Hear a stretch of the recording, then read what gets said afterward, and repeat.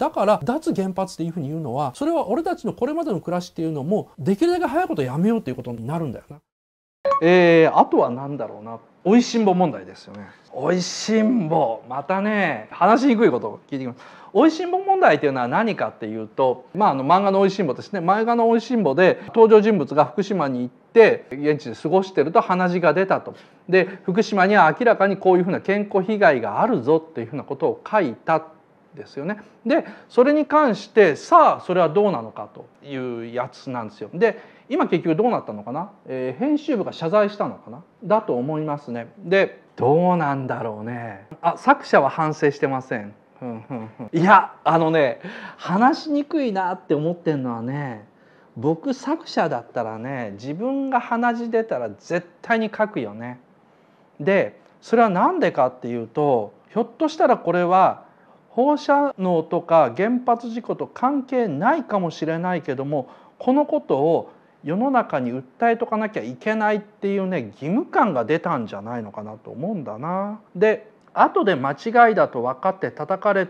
たとしても何もしなかったより後悔せずに死ねるなっていうふうに発想したと思う。地元は大迷惑だな、うん、地元は大迷惑かも分かんないよねかもわかんないじゃない。大迷惑だろうね。風評被害そのものなんだもんな。あ意識の高い人。そう言われちゃうとね反論のしようがないけどさ。いや今僕こんなにねこう困ってるのは何でかっていうと僕だったら絶対やってるだろうなって思うもん。言っちゃ悪いけど。でそのことに関して編集部から謝罪してくれって言われたら謝罪しないだろうな 連載切られてもいいとかね絶対ね俺ね言うだろうね。意地になるっていうのもあるんだけどももし自分が自身が鼻血出たっていうふうなことであったらそれを勝手に因果関係とかの立証とか関係なしに言いたくなっちゃうと思うんだけどもよくわかんない。これあのみんなは言いたくなんない？そういうふうな時に。なんかね自分の中で関係あるかないかわかんないけども絶対にこれって言わなきゃいけないんじゃないのかという義務感というか変な正義感みたいなものが発生しないのかな？俺するよ。ただこれってさっきも言ったように風評被害込みのもんだから自分がやってることが迷惑をかけるっていうこともあるんだけどもなんかねその風評被害風評被害っていうふうに言われてまるで今の福島県を含めて原発の被害エリアと言われるところが何もないみたいなことを言おうとしている風潮に対するアンチな心っていうのが絶対俺の中で芽生えると思うんだよね。だからこそねすごい言いにくいの。で風評被害って考えをベースにしたらできるだけもう安全なんですここは安全が確認されましたこれ以上危ない危ないっていうのは風評被害ですっていうふうなことを言う人はすごくその気持ちはすごいよくわかるんだけども同時にね何もねえはずないじゃんとかあと現に今福島県から女の人の流出が止まらない若い女の人の流出が止まらないというのこれこれはあのクローズアップ現代でも語られてたよね今人口がどういうふうになってるのかっていうと本当に原発のあの被害のあるところからどんどんどんどん若い人からとかの人口の流出が止まらないっていうのが外で語りにくいことが実際の行動になって現れてることだと思うんだ。で僕はもうこのニコ生ゼミが始まった1回目ぐらいからこの件に関してはどっかで線引いた方がいいっていうのが僕の主張は主張なんだよね。だからその時に第1回の放送で言ったのがもうあの極端な話福島県っていうところから人一回全部出してあそこの県に放射のうんいや言いにくいなやっぱり。ということを考えたんでそこまで考えないと僕がもし政治家だったらそこまでやらないと多分責任持って100年200年先の手は打てないと。今後3年4年5年10年の手だったら打てるよ。どんどんどんどん税金かけてクリーン作戦展開するとかあと人が住めるようなところをどんどん増やすとか何ともできるんだけども100年200年のスパンで考えたらああこれはもう一気に人全部出しちゃった方が絶対にその後の国民問題だね。あのさっき言ったなんで若い人がどんどんどんどん流出してるのかということに対する答えも出せると思っちゃうんだよ。なのでじゃあ話戻すね。今話がガーッと広がってったからおいしんぼのその福島の鼻血問題に関してはいい悪いで言うと悪い。作者は謝罪すべきだしいい加減なこと書くなっていう主張はその通り。風評被害のことを考えろ。現地に住んでる人のことを考えろ。で所詮オーストラリアに住んでるくせに そんなことを鬼の首の取ったように言うなってな。もう全部その通りなんだけども俺が作者だったらやってるからこんな切れ味の悪い言い方になるな。だと思います。検証せずに風評被害だけを流すから人口流出する。いやそんな単純な合理的なもんじゃない。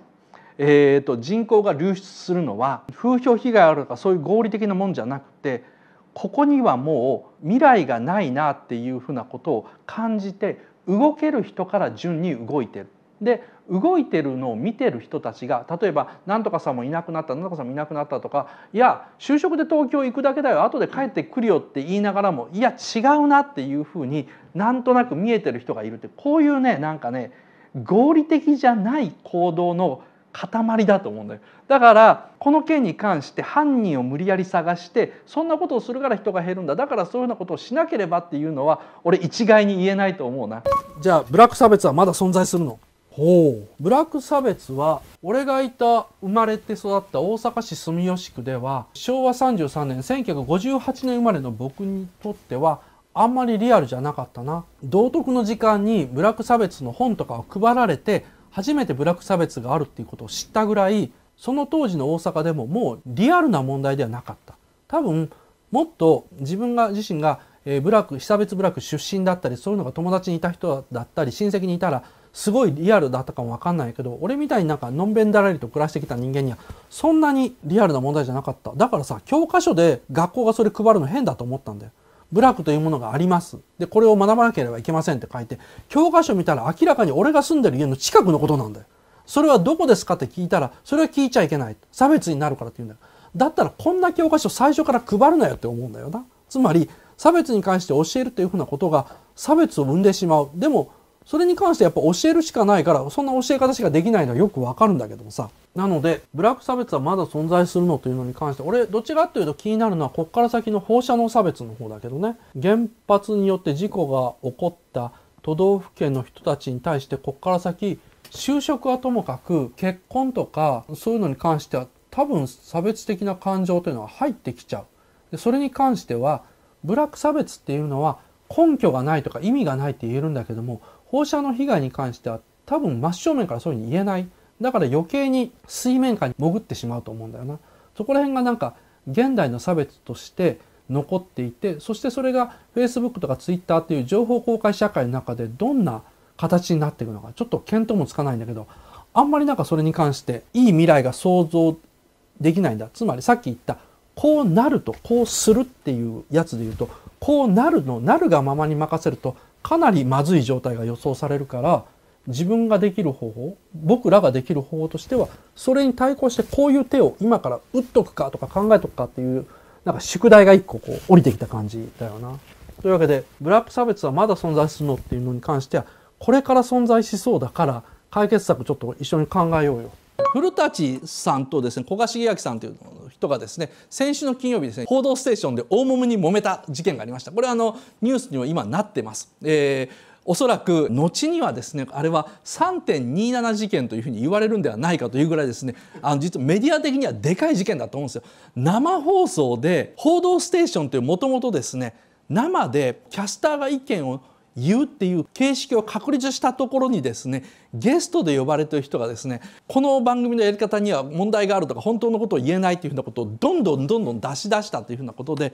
まあ、大事件だと思うんですけども、まあ、その話にですねちょっとつながるようなものなんですけども、えー、日本はなぜ基地と原発を止められないのかっていうですね矢部さんというのが書いたですね本なんですね。これもですねまああのいろいろ言われてる本でもありますあの書き方が一方的だとかですね言われてるんですけどもなんで日本はこれだけ言われながらですね例えば沖縄に米軍基地があると沖縄じゃなかったらどこだという以前になんで米軍基地っていうのをですね撤去できないんだとそれは日米安保条約の問題とかいろんなこと言うんですけども後付けの理屈であって基地が何があっても動かせないと。それは沖縄であるとどこであると動かせないのは何でだろうと。なんで沖縄に行ったらですね米軍の基地の周りにですね飛行機とかを飛ぶ路線図みたいなのがこう発表されてるんですけどこの路線図とかを見てみるとなぜ特定の地区だけ飛行機は回避してるんだと。日本人の住宅街であろうが小学校であろうが中学校であろうがその上をバンバンバンバン飛んでると。それは基地だからしょうがない。じゃあなんで特定の一角だけ避けて飛行機飛ばなきゃいけないんだこれもですね、まあ、ニュースでは全く言われないわけですね。でなんで原発をやめられないのかとこれも原発がやめられない理由っていうのは電力、まあ、が必要だからとか経済だからそれら全ては本当なんですけどもじゃあやめるための議論のところにそこしか出てこない。の変じゃないと。なんで原子力委員会とかですね。そっちの方の話が本格的に出てこないと。なんでよその国は事故が起こってない国ですら原発をやめようよっていうふうに言ってるのに。なんで日本はやめようよって話にどこかいつもエクスキューズがかかっちゃうのは何でなんだろうかっていうのをですね書いてですね。この人多分「報道ステーション」に呼ばれない一番極端なタイプの人ですね。えー、戦後70年謎を解くというやつですね。うん僕はあのネットに対してはすごく多分僕の年齢のいわゆる56歳ですけど今年で56歳の文化人としてはですねネットに対してかなり好意的なんですよ。ネットっていうものがなければ基本的な人権っていうのがですね実は守られないんじゃないのかというふうに思ってるぐらいなんですね。でもそれであってもですねネットばっかり見てるとですねどうしてもこういう手のですね本っていうのを読まなくなっちゃうのがですねすごく怖いんですね。先月ぐらいから僕はネットは1日3時間というのをやっててこうまあまあまああやっぱりダメだっていうふうなことで諦めてですねやっぱネットを1日に45時間ぐらいやっちゃうんですけども辞めてる時にはですねこういう本が結構バンバンバンバン読めたんですね。で本読むと本の世界にですね改めて戻ってみるとやっぱりすごいわって思いますね。今の時代でですね人と差をつけたかったり何かやる時にですねじゃあどこを見ればいいのかとかですね何をすればいいのかっていうのをネットでやっぱ僕ら情報を得ちゃうんですね。まあこの放送自体もネットで配信してるんですね何とも言えないんですけどもだからこそですね本読むっていうのはいいことなのです。別にこの本を読むっていうことだけでもあのないと思います。皆さんの家にですね必ず買ったんだけど読んでない本っていうのがあると思うんですけどもですね情報の精錬度が違うから、まあ、そうなんですよね。情報の精錬度といえばそのたくさんの人の陣地が集まったクラウドいわゆるネットの方がいいような気もするんですけども真面目にですね書かれた本真面目に編集者が作った本っていうのはやっぱり読んでみると体験になるんですね。で体験って情報とやっぱちょっと違うは違うんですね。あの例えば僕の放送もこれを毎回見てる人コメントで参加してる人であとはそれを後で録画だけ見てる人。次にそれがなんかテキストになってるものを読んだ人とかですね。なってくるとですね体験ではなくてだんだんだんだん情報化していくんですね。そういう情報化したものっていうのは自分の中の咀嚼がどうしても遅いんですよね。何年かするとあの面白い自分の中でなってきたりするんですけどもどうしても情報で得たもの軽く得たものは軽く扱っちゃうのであそれ違うとかあそれ賛成だっていうふうに反応しちゃうんですね。えー、脱原発派最近鬱陶しくないですか？うん？まあ、新聞読んでないから鬱陶しい鬱陶しくない。よくわかんないな。鬱陶しいの？脱原発を叫んでる人たちっていうのは。どの辺が鬱陶しいの？鬱陶しくないですか？と聞いてるところを見るとおそらくみんな鬱陶しいと思ってるんじゃないですか？という言外のニュアンス。太郎のこと。太郎のことっていうのはここにあるもう一つのコメントで山本太郎が鬱陶しいというのがあるんだけども。